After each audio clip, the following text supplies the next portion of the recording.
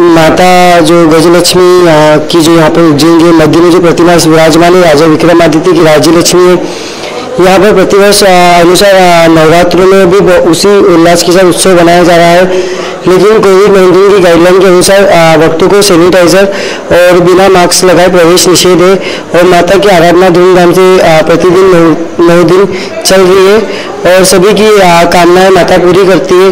सफ़ेद गज में विराजमान माता गजलक्ष्मी की दिव्य प्रतिमा नगर के मध्य में विराजमान है। क्या नाम है? अनिमेश शर्मा।